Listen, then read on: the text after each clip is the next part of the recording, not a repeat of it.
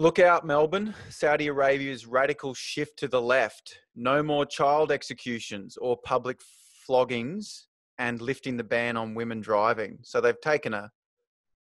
It wouldn't surprise me if the Greens open up an office over there after that. They're not executing kids anymore or publicly whipping people. It's, yeah, it's it, a radical progressiveness.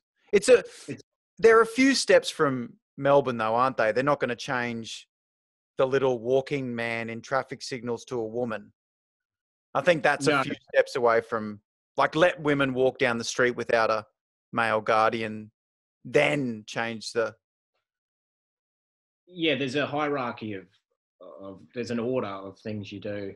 Yeah, but I think yeah, it's weird because I feel like with all those announcements, they expect a round of applause.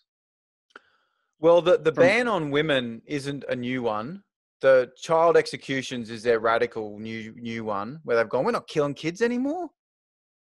When they announced i actually watched the footage of them announcing the ban on women driving like that being lifted which was a huge uh, public campaign by feminist activists in saudi arabia.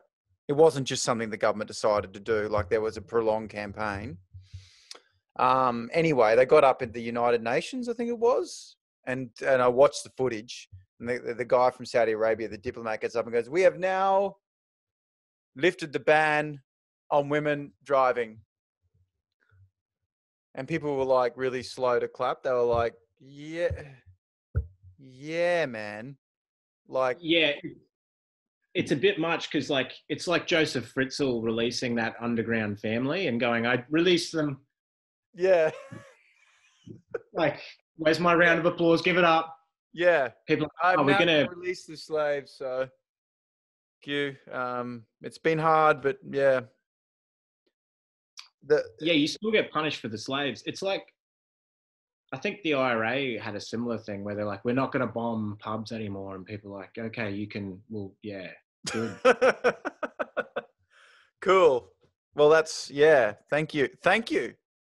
Thank you.